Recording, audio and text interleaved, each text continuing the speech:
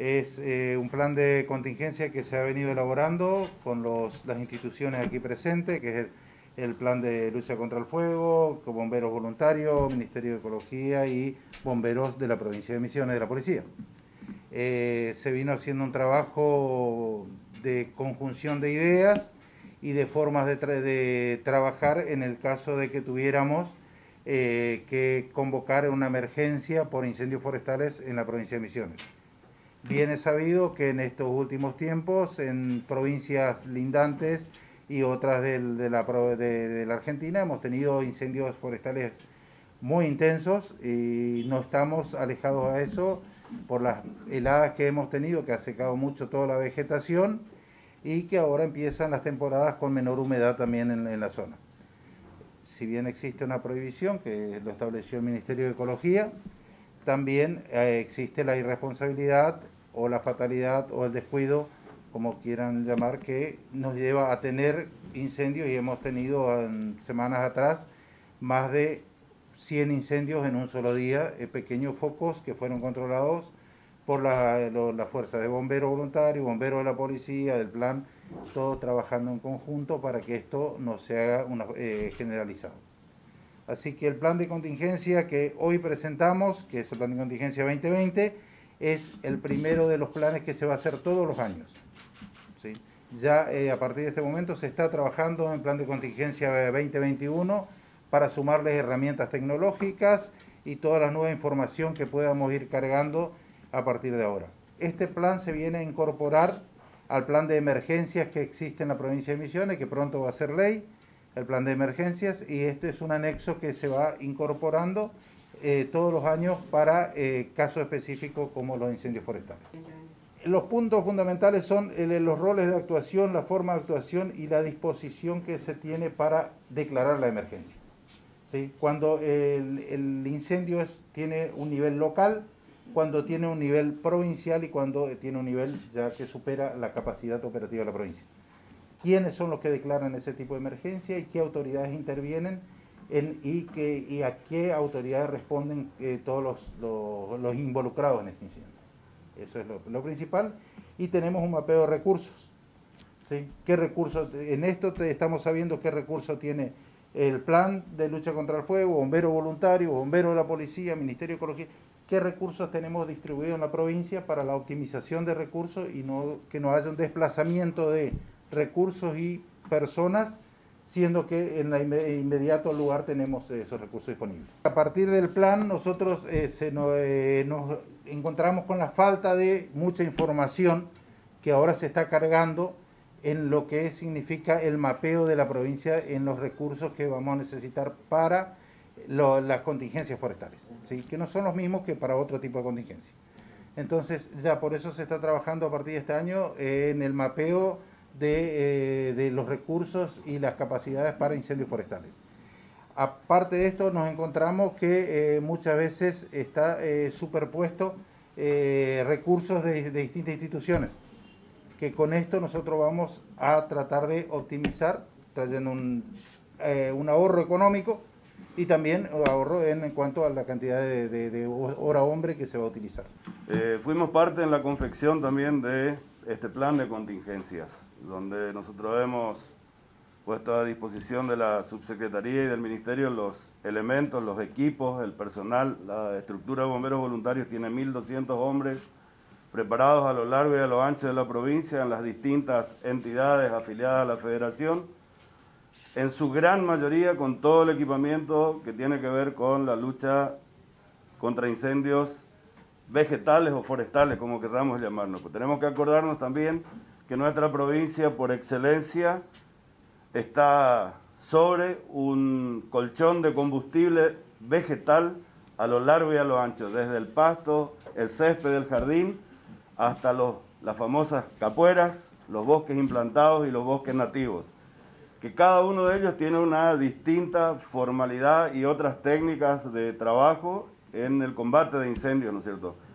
La verdad que en estos últimos tiempos hemos visto que tenemos incendios en varios lugares de la provincia y que gracias a Dios al aviso tempranero, eso que hace cada uno de las personas que tiene el problema, se pueda acudir rápidamente y no dejar que esto se magnifique, que sea algo más grande, que tengamos que recurrir a una estructura provincial y o nacional. Ojalá Dios quiera que no tengamos que usarlo, pero eh, se está previendo algo que puede suceder en nuestra provincia. Ustedes han visto lo que pasó en Córdoba y Córdoba tiene una estructura bastante grande. Nosotros la conocemos porque yo, yo personalmente y el subsecretario pertenecen al Sistema Nacional de Bomberos Voluntarios y hemos visto cosas que nosotros no queremos que sucedan en la provincia. Así que se pueda minimizar de combatirlo en la forma más rápida. Seguramente la División Bombero de la Policía está en la misma situación y eso hace a que el trabajo nuestro también sea efectivo. El aviso tempranero y el acceso tempranero al combate del incendio o a los principios de incendio que se generan en la provincia. Estratégicamente creo que nos falta para completar y tener cubierto toda la superficie, porque acá hay una cuestión de distancias de recorrido en los lugares de incendio. Nosotros, yo le puedo hablar de Monte Carlo, a donde yo pertenezco, y Monte Carlo tiene una colonia muy grande con mucha superficie vegetal y de campos, ¿no es cierto?, donde estas últimas heladas han generado eh, bastante problemas con las pasturas de los campos. Y el problema siempre está en la traslación de la dotación al lugar. Nosotros a veces tenemos que transitar más de una hora y media, dos, para poder llegar al lugar con las unidades y el personal. Y eso muchas veces dificulta, pero en líneas generales estamos bien, pero faltan algunos municipios que también tendrían que tener su estructura de bomberos para, si se les va de las manos, que nosotros podamos acudir a, ayudarnos, ¿cierto? Pero eh, faltan estructuras, estamos trabajando en la conformación de nuevas instituciones y las que están actualmente funcionando sí están equipadas, tienen eh, unidades forestales, tienen equipos de protección personal para el bombero y como mochilas, pulaski, maclet, todas estas cosas que son necesarias en, en el combate de incendios. Depende la magnitud del incendio también, ¿sí? si es fuego rastrero una cosa y si es fuego copa es otra cosa. O sea, hay un montón de cosas que se tienen que tener en cuenta. Hasta ahora en estos últimos años no tuvimos que utilizar, por ahí se usan motosierras para hacer los cortafuegos,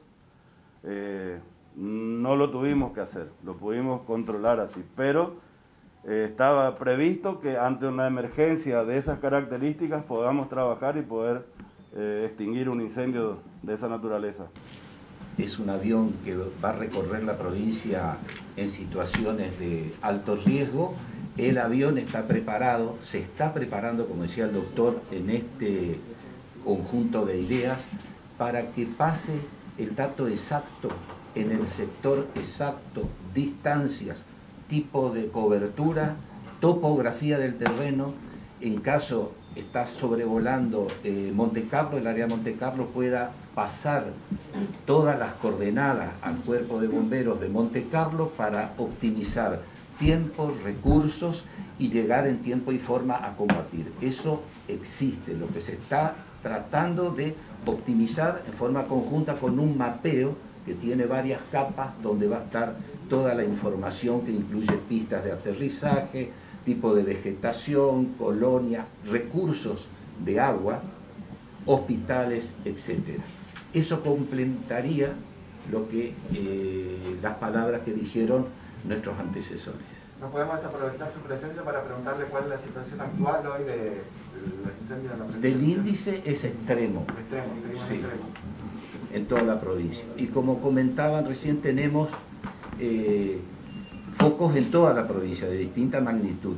Y no quiero dejar de comentar que el incendio forestal y rural lo provoca el hombre, ya sea intencional o por descuido. Y a toda esta situación se suma, y lo tienen los bomberos de la policía y los bomberos voluntarios, el problema de los incendios urbanos, que por creer que poder quemar residuos se le, se le va de cuadro y producen los incendios que ustedes ven fundamentalmente en zonas aledañas a los pueblos, que hay pajonales, y en colonias, por supuesto, que hay otro tipo de cultivos.